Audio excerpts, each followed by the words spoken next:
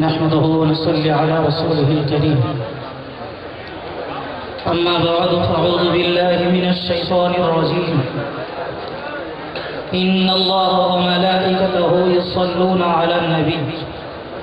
يا أيها الذين آمنوا صلوا عليه وسلموا تسليما. اللهم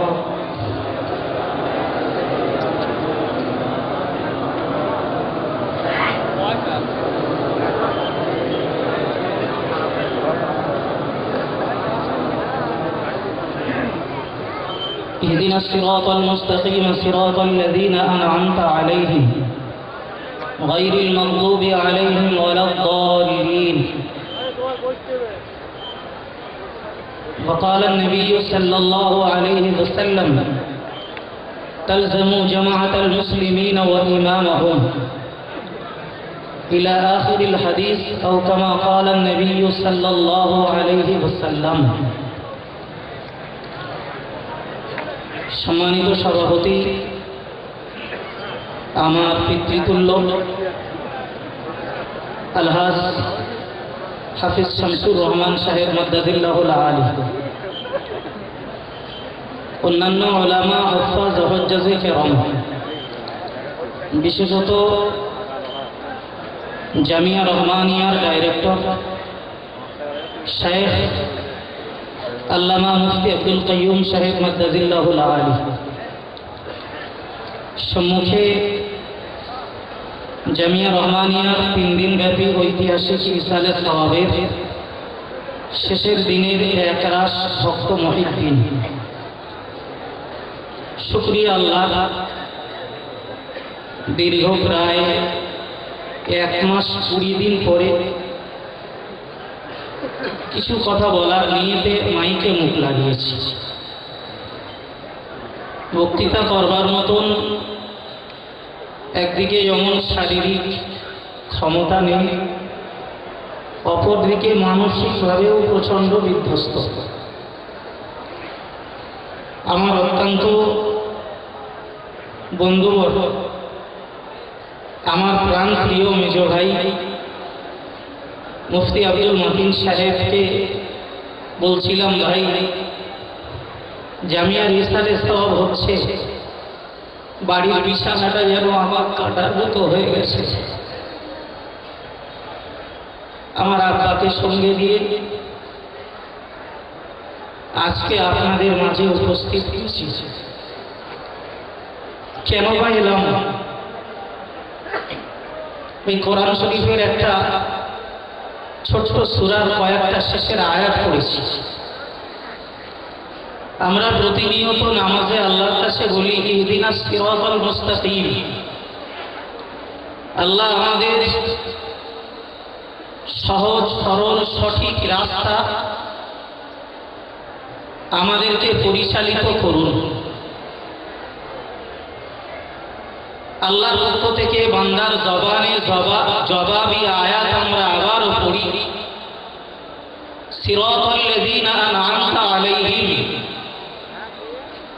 বান্দা, ওই পথটাই সঠিক।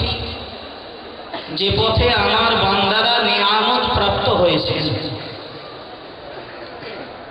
আমরা আবারও আল্লাহর কাছে দোয়া চাই। গাইরিল মাগদুবি আল্লাহ ওই পথ থেকে আমাদেরকে হেফাজত করুন। যে পথে আপনার বান্দারা গজবে পতিত হয়েছে এবং ওই পথ থেকে যে পথে আপনার বান্দারা পথভ্রষ্ট হয়েছে। ভাই, এই ছোট্ট ছোট্ট কটি আয়াতে মহান আল্লাহ আমাদেরকে যে শিক্ষা দিয়েছেন, তার মধ্যকার একটি বিষয় হল আজকে আমরা আমাদের বর্তমান সময়ে এ সমাজে দেখতে পাই। সাধারণ ইমানদার মুসলমান যারা ধর্মপথের সঠিক দিশারি খুঁজতে বিভিন্ন তারা ভুল পথে পরিচালিত হচ্ছে।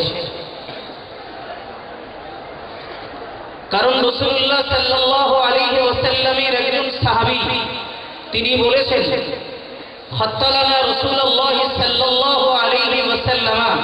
খত্ত। রসুল একটা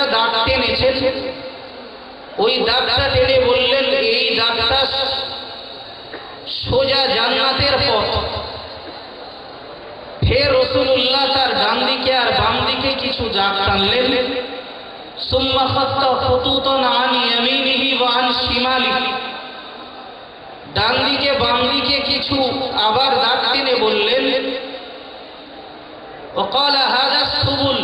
সবগুলি হলো এক একটা রাস্তা।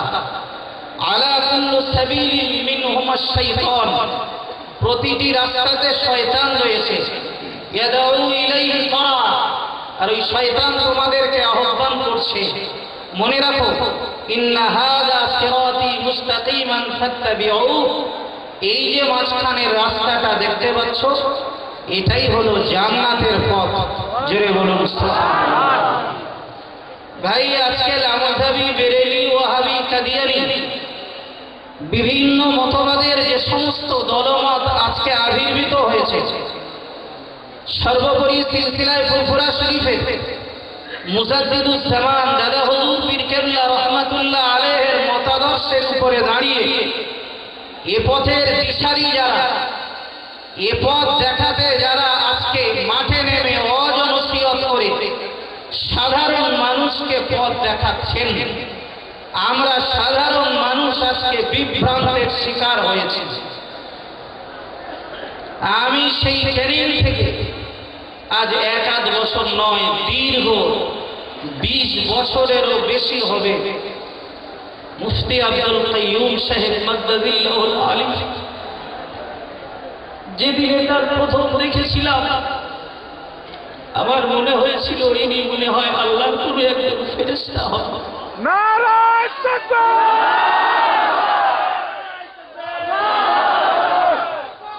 আমি তার চলা তার বলা তার হাঁটা তার দাঁড়ানোর ভঙ্গি কারণ রসুল্লাহর হাদিসে রয়েছে মানা ফাকাদ যারা আমি নবী আমাকে মহাব্বত করল, আমার অনুসরণ করল। তারা আল্লাহকেই মান্য করল। আমানা আসানি ফাকাদ আসাল্লাহ। যারা আমার অমান্য করল, অস্বীকার করল, নাফরমানি করল, তারা আল্লাহকেই অস্বীকার করল, নাফরমানি করল। রসুল বললেন অমানা আফানি অমানা আফা আমিরি। যারা আমার শরীয়তের আমিরকে মান্য করল, যারা আমার শরীয়তের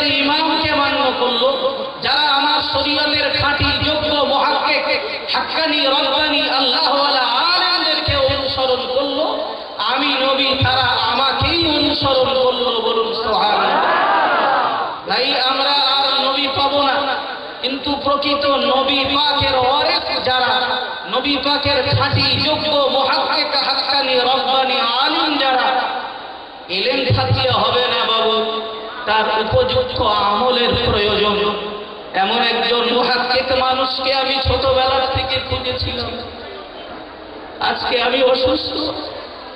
ভাই, আমার গ্রামের লোক কতবার দেখতে আসেছি যতবার মুক্তি সাহেব আমাকে দেখতে গেছে আমি খুব লজ্জিত হতাম। হুজুর, আমার কাছে দোয়া চাইতেন আর বলতেন, আসানুল্লাহ, তুমি দোয়া চাও। তুমি অসুস্থ, তোমার দোয়া আল্লাহ কবুল করবে। আমার দুটো মেয়ে অসুস্থ হয়ে হসপিটালে ভর্তি আমার কাছে ফোন করে হুজুর আমি অত্যন্ত লজ্জিত। আমি আল্লাহর কাছে দোয়া চাইছি, আল্লাহ, আমার দোয়া কবুল নাই হোক। আপনার খাঁটি যোগ্য মহাত্মিকা আলিমের ইজ্জত আপনি রক্ষা করুন আমার বিশ্বাস, ভাই, আমার কেমো দেওয়া হয়েছে। এই দশ বারো দিন হলো। মানুষ ভুল কথা বলে মানুষ দাঁড়াতে পারে না। আমার বিশ্বাস, মুফতি রাতে বেলা আমার জন্য কেঁদেছে। আমার অসুস্থতার কথা শুনে উনি বলছেন, আমি প্ল্যাটফর্মে বেভোলা হয়ে কাঁদতে কাঁদতে বেড়াচ্ছিলাম আমার আত্মবিশ্বাস, হুজুরের দোয়ায় আমি সুস্থ হয়েছি।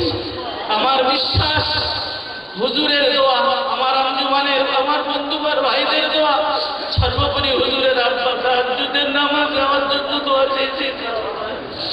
আল্লাহ তাদের দোয়া কবুল করে আমাকে সুস্থতা নসিব করেছে আরও সুস্থ করবেন ইনশাল্লাহ বলুন আমি ভাই, বক্তৃতা করা মানসিকতা না থাকলেও বলা মুখ সব রোগের কথা যেন ভুলে গেছে। রসুল্লাহ বলেছেন, তোমরা ওই জামাতকে অনুসরণ করো, এমন এক সময় আসবে, দেখবে যে সময়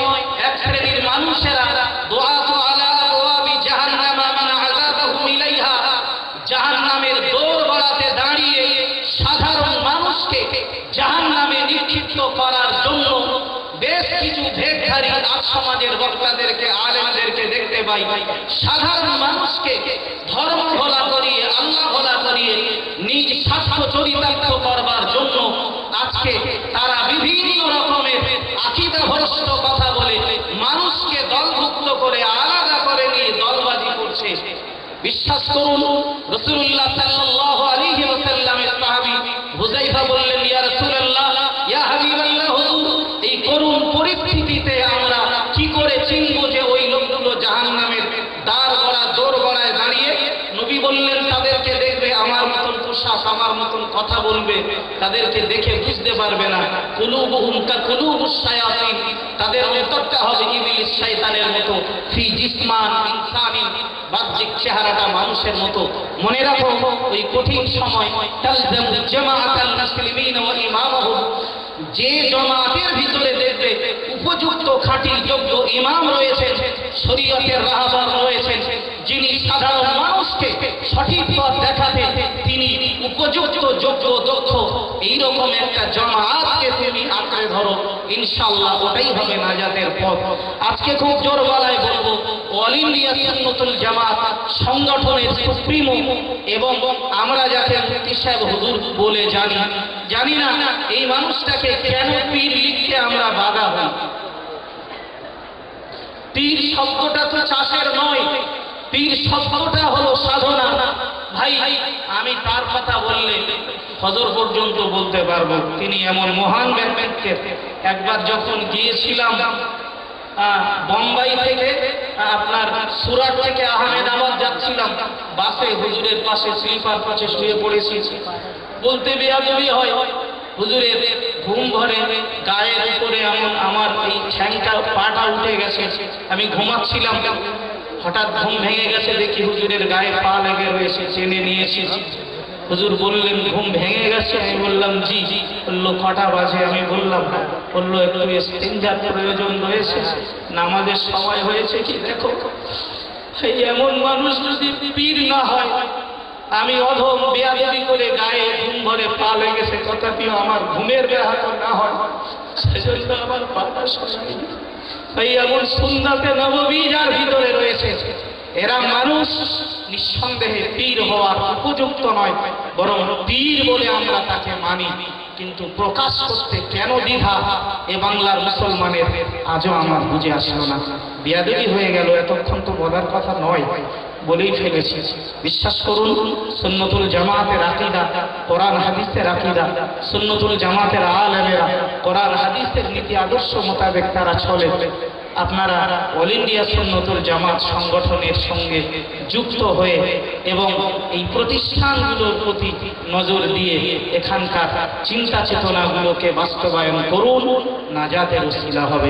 পরিশেষে আমি অধম দোয়ার ভিখারি দোয়া চাচ্ছি, আল্লাহ যেন আমাকে আবার পুনরায় তিনি খেদমত করার তৌফিক দেন। দেন বলুন সকলে আমি সংগঠনের একটা বড় মাদ্রাসা জীবন তলায় আমি অথবা আমার দায়িত্বে এবারে তিন তারিখে ছাদ ঢালাই হলো, যেতে পারলাম না।